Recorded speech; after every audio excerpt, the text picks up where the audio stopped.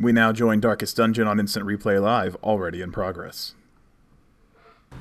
I was saying I was going to probably make a new party, so I kind of went reckless with buying a bunch of food for these characters, but Uh, now I kind of want to keep my characters too.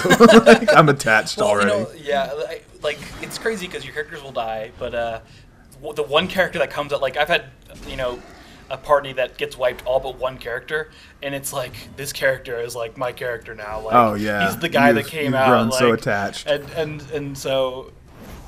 You, you build up the, like those relationship over a, a roster of characters over twelve characters. oh, that sucks. um, on my on my playthrough, like all the characters that I have in my party are characters that I really really care about.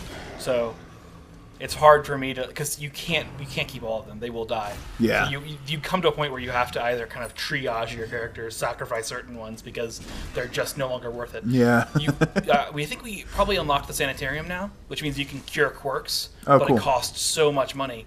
So if your character, you can only cure one quirk, quirk at a time. It, One they have quirk. to, they have to sit out of the of the adventure, so it they don't get de-stressed. They're just costing money and taking uh, time. Oh, wow. it, so you have to weigh: is it worth it rescuing this character or just letting them go? Completely destroyed by their time serving you, right? Like you've oh no, you've become kleptomaniac. You've become a, a demon, like demon obsessed. You uh, you know, you, you flagellate yourself. But you know, I don't think you're really fit for this party anymore. if you could just like take the nearest carriage out of here, like It's, so I think I might die here, and, and then we won't finish the dungeon anyway. uh, man, these these dudes are scary though. Like Yeah, they're tough. I guys- love mon- mushroom monsters. Yeah, and the- like, the, always, like the like- skull below his like Yeah, legs. he's oh like, man. and his legs are arms, I think, or well, these might be real legs in leg, the front, arms. and then yeah, um, yeah. But I, I'm always a fan of Munchkin monstrosities like Myconids in D and D and other things like it. They just Did you say Munchkin monstrosities? I might have. You might have said Munchkin monstrosities. I those might- those delicious, dangerous desserts roaming the, I, the I might have meant mushroom monstrosities, whatever I said. but uh, Myconids in D and D and those kinds of things, they're always like, they always look so cool because they look so gross, right? yeah. There was a video game that came out that we might have to like dig up for the show because I never played it.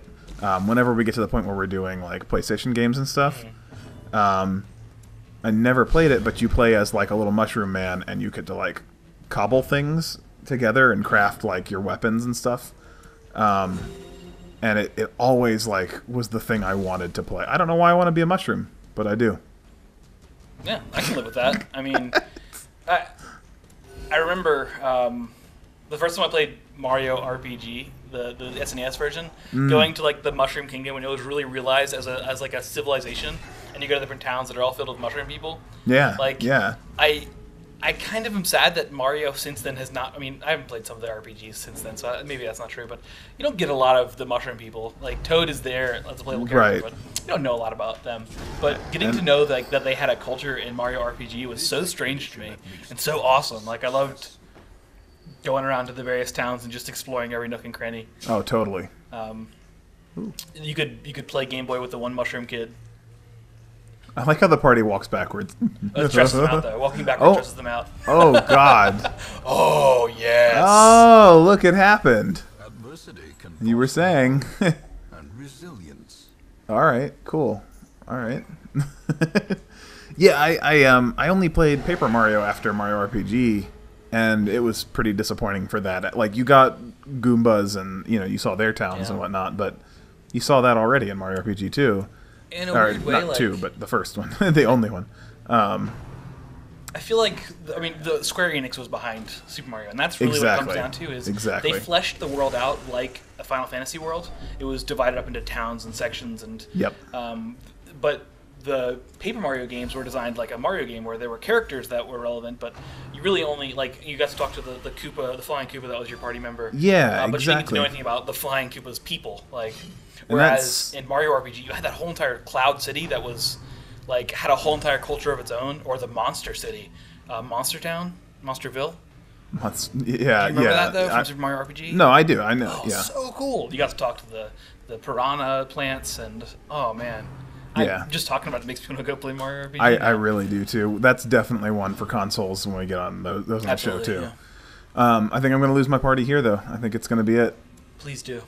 Please, do. know, let's just go all out. Let's try to kill these guys. Uh, So I've had people like I've had I've had a dude that just survived a death's door, like three dudes he's facing down, and he just because I think it's 50-50 chance. I'm not mistaken. I might have Oh, okay. as much, but I, like hit after hit after hit, death's door, death door, death door, still He's sticks still around. standing. Um, it was my barbarian actually. That's gotta be a good feeling, That's probably yeah. why I like the barbarian so much. Is Nice. In this, or the Hellion rather. Um, they're pretty baff. Baff. Baff. They're bad as fuck. yeah, well, hey, I guess that works too, doesn't it? kind of accomplishes the job.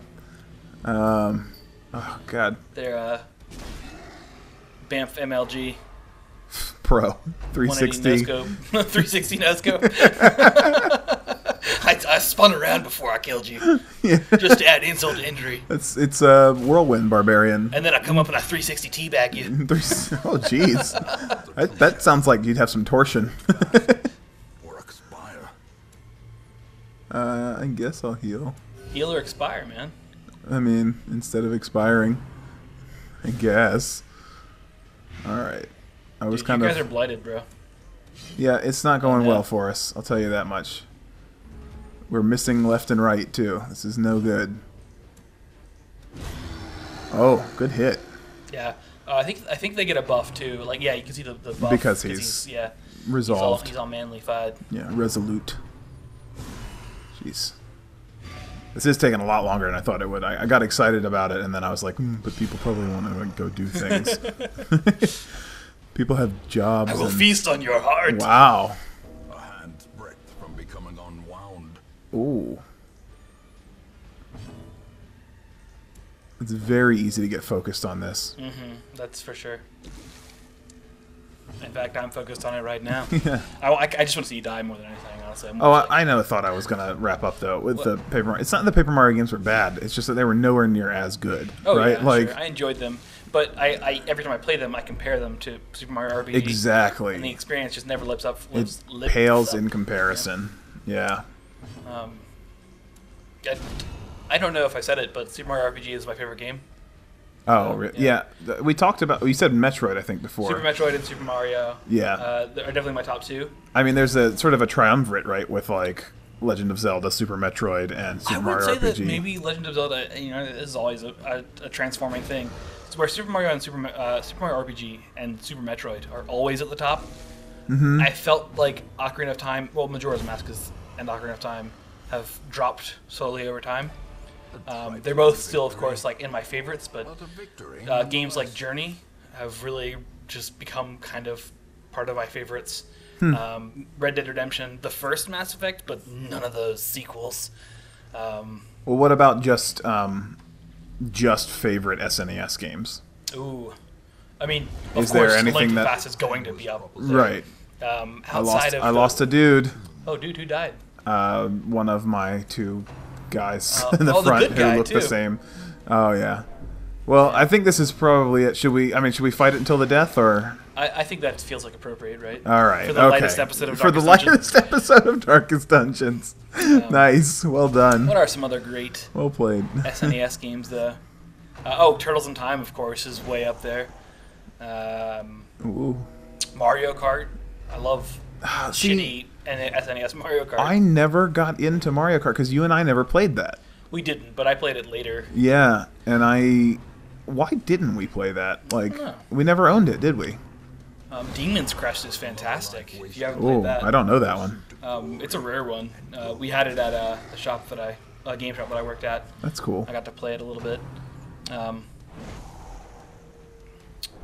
oh, uh, Earthbound. Oh, so good.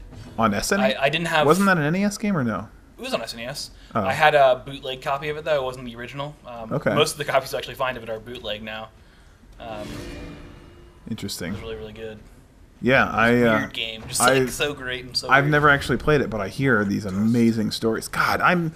All of this is just getting me so excited for the days that we'll be able to play SNES games on this show. Well, I think the oh, step. there it is. Yeah, play play on the Wii, right? We have. I've got some SNES games on my Wii. Yeah, we do too. Yeah, and some old NES games and stuff too. I ideally I'd like to actually get an Get SNES SNES, yeah. and do it right, but well, thank you guys for for sticking with me all the way through to the bloody end of Reynauld Gumboldt Mes Mes Mes Mesnage and Hall. um, and uh, let us know what you think about the latest episode of Darkest Dungeons in the comments. Um, and maybe some other suggestions what we should play next. Thank you. Bye bye. Wow, wow.